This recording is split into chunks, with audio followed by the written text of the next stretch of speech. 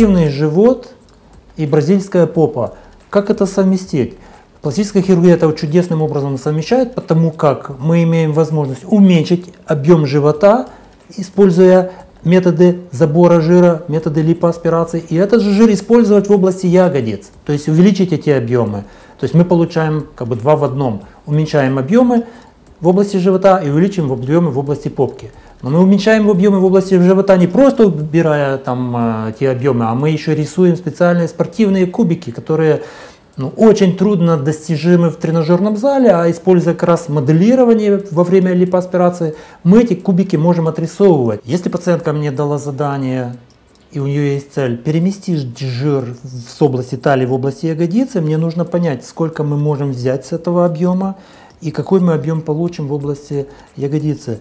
Делая зашипы, делая определенные, исходя из опыта, э, замеры этой области, я могу сказать, что я могу взять в среднем около 300 мл с одной стороны, с одной талии. Кстати, это очень важный момент, потому что я могу взять и намного больше, но что останется здесь? Мне нужно взять так, чтобы здесь было все красиво, чтобы пациентка увидела красивую талию и было ровные контуры.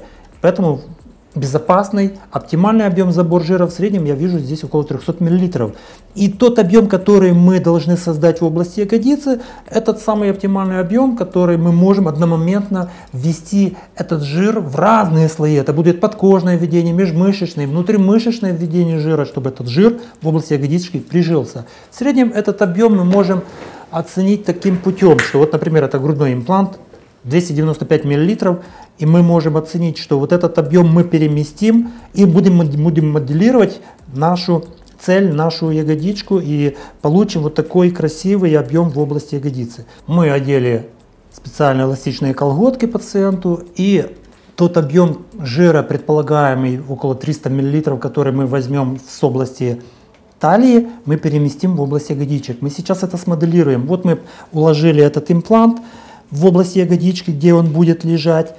Обтягивающие колготки, кстати, в какой-то степени смоделируют нам талию, может быть она еще будет более узкая. И вот этот объем, который мы получаем в области ягодички, пациент может оценить. Кстати, вы дома можете эту же манипуляцию сделать таким же путем. Как это делается? Берется какая-то емкость с сыпучим материалом, например, рисом. Берете 300 мл риса, и укладываете в кулечек и можете укладывать его э, распределяя в желаемом месте, например, в области ягодички, и вы видите свой будущий результат того объема той ягодички, которую вы хотите, э, тех объемов ягодички, которых вы хотите увеличить. Такая же ситуация возможна в домашних условиях с рисом в кулечке, который вы можете укладывать э, под купальник еще до похода к хирургу уже для себя определить приблизительно тот объем, который вы хотите себе создать. Могу сказать, что жир приживается в любом случае. Единственное, что есть процент соответствующий, там 20, может быть, даже 30 процентов, который жир может рассасываться. И это тоже нужно учитывать.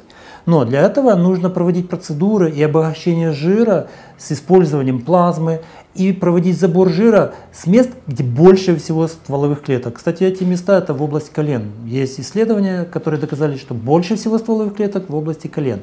Но этого жира, как правило, не, не хватает нам для увеличения груди или для увеличения ягодиц. Поэтому мы используем жир с любого места. В любом месте есть эти стволовые клетки, которые способствуют генетически приживаться в другом месте, дают возможность максимально жить этому жиру, который мы переместили. Еще есть вопрос, восстановится ли жир в тех местах, откуда мы его забрали. Могу сказать, что жир тех местах, откуда мы забрали, не восстанавливается в количестве, потому что жир в количестве, он в среднем растет до 5 лет от роду.